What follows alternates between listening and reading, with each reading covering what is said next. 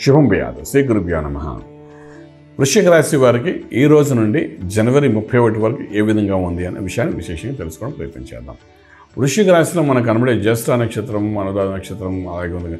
ఈ నక్షత్రాలన్నిటికీ విశాఖ నాలుగో పాదం వంటి అందరికీ కూడా లగ్నంలో ఉన్న కేతు ప్రభావం తీసుకుంటే నిర్ణయాల్లో కొంచెం మిస్ఫైర్ అవ్వడానికి అవకాశం ఉంటుంది. చాలా జాగ్రత్తగా ఉండవలసిన అవసరం ఉంటుంది. కన్ఫ్యూజన్ స్టేజ్లో మీరు ఉంటారు. భయాందోళనలో మీరు ఉంటారు. చేసింది కరెక్టా కాదా అని కన్ఫ్యూజన్లో ఉంటారు. ఈ వృషిక రాశి కొంత ఇబ్బంది పెట్టే పరిస్థితిగా కనబడుతుందన్నమాట.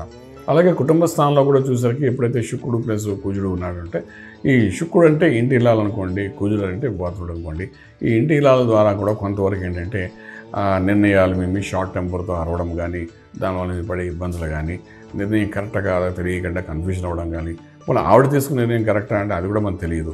సో దీనివల్ల కొంత నష్టపోవడం కానీ ఇవన్నీ జరిగే అవకాశం ఉంటుంది కాబట్టి కొంచెం నిదానంగా పేషెన్స్గా సలహాలు తీసుకుంటూ ముందుకెళ్ళడానికి ప్రయత్నం చేయండి.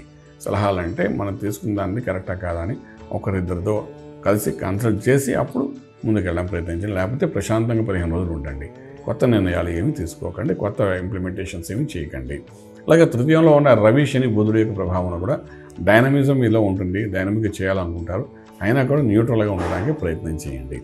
చతుర్థంలో ఉన్న గురుడు యొక్క ప్రభావం మనకి పెద్దగా సపోర్ట్ చేయనప్పటికీ కూడాను ఈ గురు యొక్క దృష్టి రాజ్యం ఉంది కాబట్టి ఏది ఎలా ఉన్నప్పటికీ ప్రొఫెషనల్గా మీరు సక్సెస్ఫుల్ అవ్వడానికి అవకాశం ఉంటుంది కాబట్టి భయపడక్కర్లేదు. ది మోస్ట్ సక్సెస్ఫుల్ పర్సన్గా ముందుకెళ్తారు. ప్రొఫెషనల్ వైజ్ ఆర్థిక బలం పెరుగుతుంది.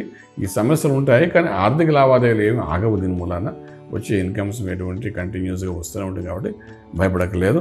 అలాగే వీడికి అంటే సప్తమంలో ఉన్న రాహు యొక్క ప్రభావం వల్ల భార్యాభర్తల మధ్య కొంచెం అన్యోన్యత బాగానే ఉంటుంది. వరి అవ్వట్లేదు ఎందుకంటే రెండు ఉచ్చ స్థానంలో ఉన్నాయి కాబట్టి ఒక అండర్స్టాండింగ్ మీద ముందుకు వెళ్ళడానికి అవకాశం ఉంటుంది. రాజ్యం కూడా బాగుంది.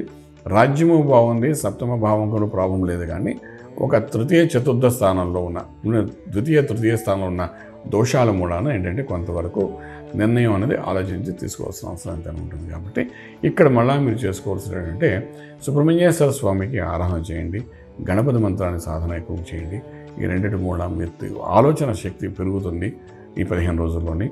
కానీ నిర్ణయం మాత్రం వెంటనే తీసుకోకండి.